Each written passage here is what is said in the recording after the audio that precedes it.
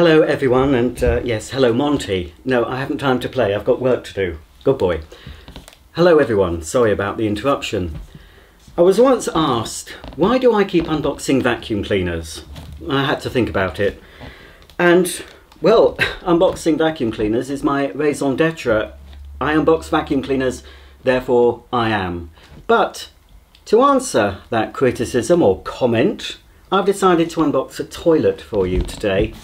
Yes, we have here a Stamford well hung pan, sorry, wall hung pan, model WBD 10722. And this comes from Wholesale Domestic Bathroom Superstore.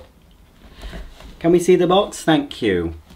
So, um, I hope you like a bit of a change of pace because, well, yeah, it does get a bit samey unboxing vacuums and other floor care products. So, a toilet, that's something different, isn't it? Can't wait to try it out and hang it on the wall. Uh, oh dear, it's not a toilet. Well, we knew it wasn't a toilet, didn't we? Because I've done a thumbnail showing a vacuum cleaner, so clearly we know. I'm not going to unbox a toilet for you. I'm going to unbox another Hoover Ranger Senior type vacuum cleaner from the 70s. Right, well if Monty lets me, let's take everything out of the box, assemble it, and have a closer look. I know, Monty, you're not used to seeing me unboxing vacuums, are you? Shake hands. Shake hands. No? Right. yeah, show your bits to the viewing public. I'll have to censor that. Now, I've just I've just noticed something wrong with this just as I took it out of the box. It was rather thrown in and apparently this was, I think this was a loft find and I hadn't really seen one of these until I saw it on eBay. I thought, oh, it looks American, but apparently, well, this hood, I think this style of hood was available in America and also it was more common in Australia. Excuse me, Monty. Um, and I didn't know we got this machine. I don't know if it was an exclusive or a limited model for some reason but it's based on the Hoover Ranger. In fact, if you, you've seen the videos I've done for the sort of avocado green Ranger, I believe the hood is interchangeable. Um, and I'm a little bit perturbed and concerned that this hood, we might be getting a look at the motor. Yes, we're going to have a look at the motor. I wasn't expecting to show you the motor um, because this hood's loose for some reason. Let's try and get the, I'm sure it's not screwed down at all. Are you going to come off? It's almost there folks. I don't want to break anything, obviously it's quite a rare model this apparently. There we go. Well there's the underside of the hood and here we can see the cleaner itself. Ah, Still has the suppressor.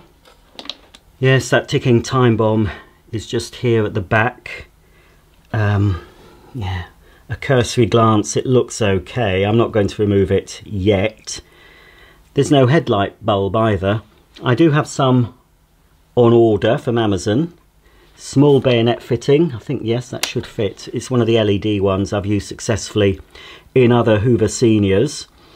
So uh, yeah, I'm just wondering why, mm, I dread to think, why was this loose? It's only secured by two screws and they're both fully screwed up, if you know what I mean.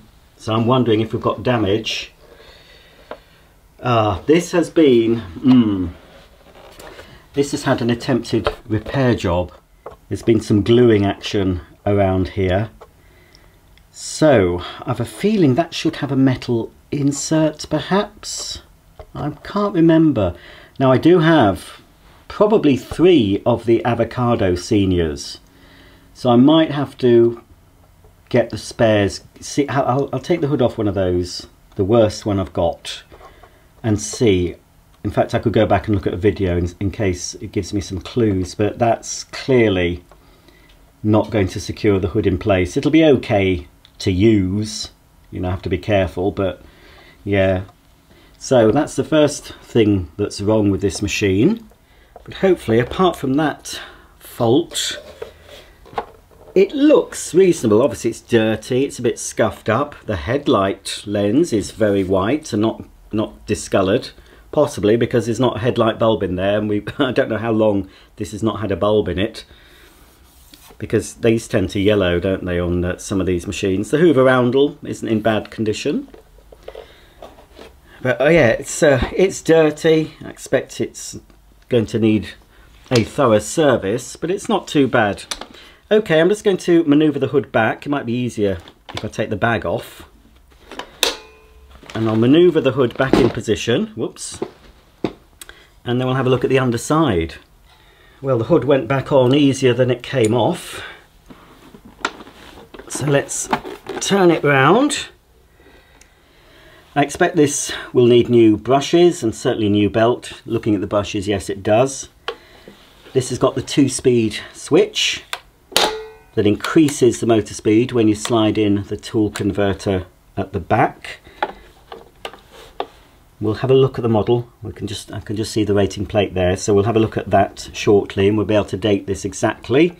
Don't need a screwdriver to take the plate off this version. Yes, uh-huh. I don't have, I'm not at home, I don't think I've got any of these belts. That is very worn, very worn belt, very worn brushes, very dirty, bit of rust as well. I'm not sure what the motor, well the motor, just doing this, sounds okay. So I will switch it on obviously in the video but won't be doing much cleaning. Let's pop that plate back on. This will clean up nicely I think. This is a, a project but I think this will look very good when it's finished. Yeah there's rust, rust on that spring as well. But I might sacrifice one of my other seniors if I need any parts for this particular machine I might sacrifice another one. Because they are still fairly common the avocado green senior the Shake & Vac senior. So just have to be wary of the hood. So this is Hoover model U4034 240 volts 50 hertz 400 to 600 watts. It's doubly insulated. It's approved by the British Electrotechnicals Approvals Board. Serial number is U4034 510000973. Trademarks of Hoover Limited, made by Hoover Limited, Great Britain. So we can say that this is U4034. 5 denotes the year. We know this is from the 1970s, so this is from 1975. Here's the bag, and I would say it is original in a nice uh, chocolate brown colour with the Hoover lettering. Looking at it, yes, it's in good condition. It will clean up nicely. It's a wipe clean bag, Hoover used to call them. It's, it's a sort of a plastic fabric. And the, the Hoover logo will survive a gentle wash. I'd never put this in a washing machine, hand wash that will look a lot whiter when it's cleaned. Unlike the round Hoover logos on some soft bagged juniors and some seniors, put them anywhere near water and you've lost the logo. Right, I think, uh, yeah, there is quite a lot of rusting on various parts. I think this zip could be problematic. That's going to be problematic for me to open. This has happened before. You can spray a silicone like lubricant, a clear lubricant to help get the uh, zip to work. Maybe candle wax, some say, or graphite, a pencil. There's various things you can do. I'll look up freeing a zip. Um, it does have a cloth bag in, and it's bottom fill by the feel of that. So yes, the bag fits directly onto that part there. There should be a little rubber band to hold the bag in place. So it's bottom fill. I believe the Avocado Senior is a top fill design. So for the time being, I'm just going to switch this on and just see if it works for this video. And we'll see an after video at some point. So that's the bag on. This was all thrown in, so I don't think this is a collector who understands about this sort of thing.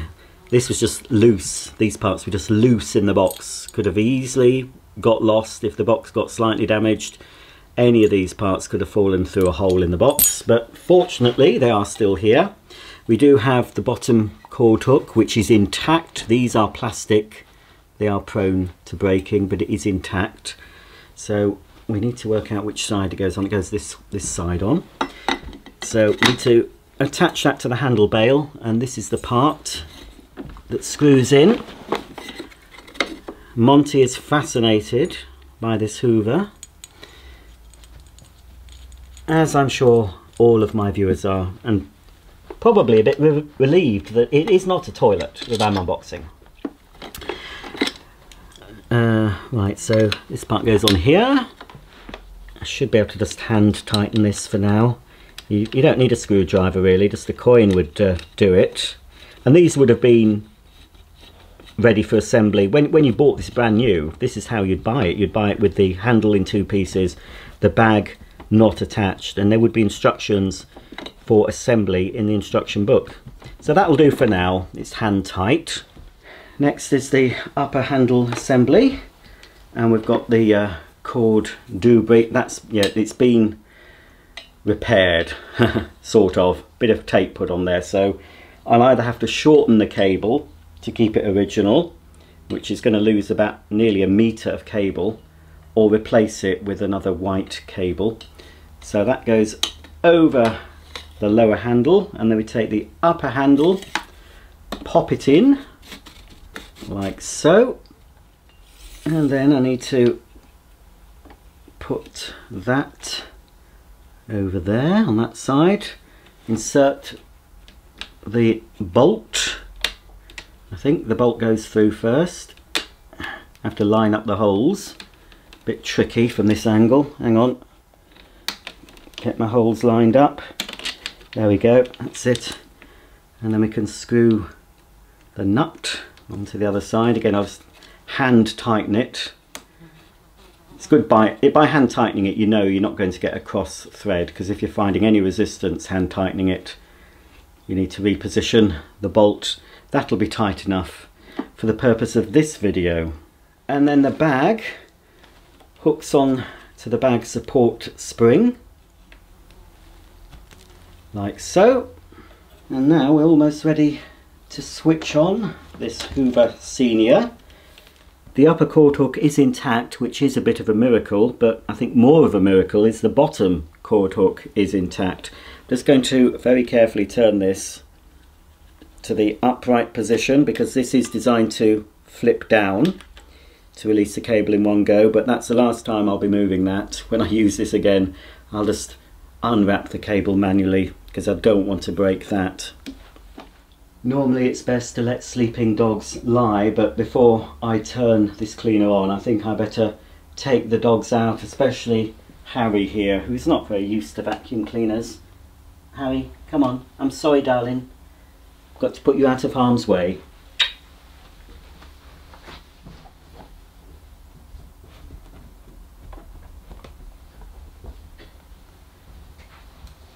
Okie dokie, let's plug in this Hoover Senior.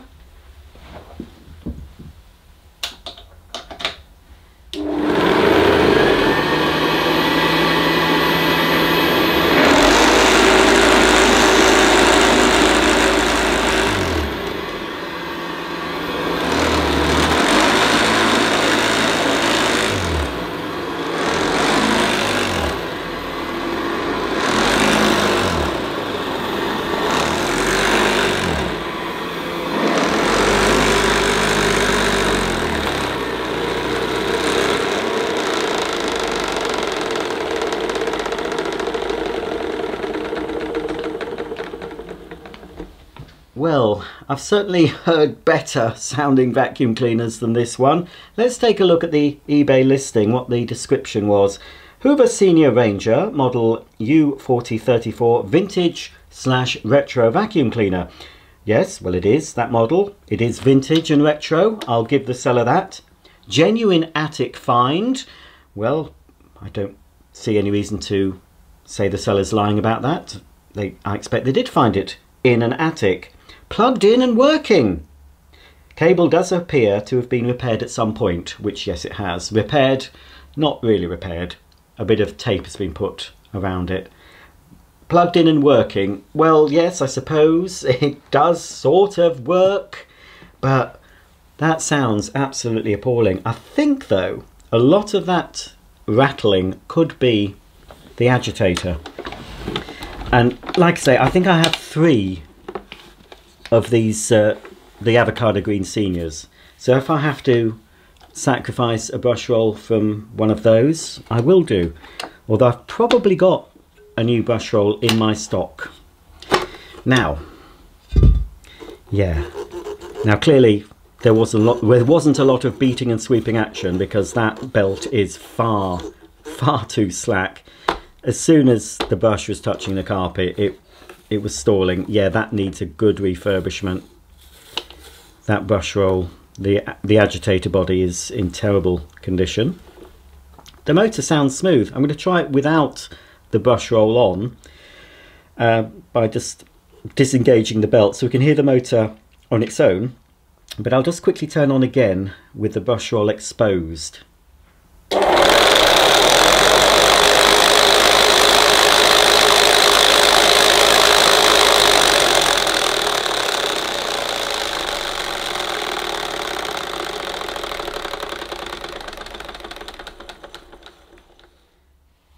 Don't sound too healthy. so I think a lot of the noise is coming from the agitator. So we'll soon find out. Now I'm going to release the belt and we'll just listen to the motor on its own.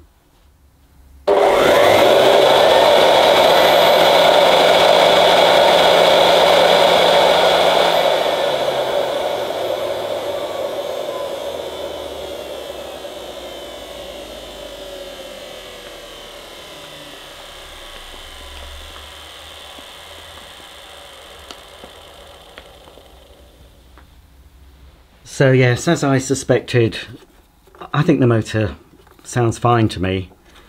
So the whole problem is in this, there'll be very worn bearings. I mean, it could just need refurbishing, new bearings put in, new bushes, cleaned up, but that's quite loose in there as well.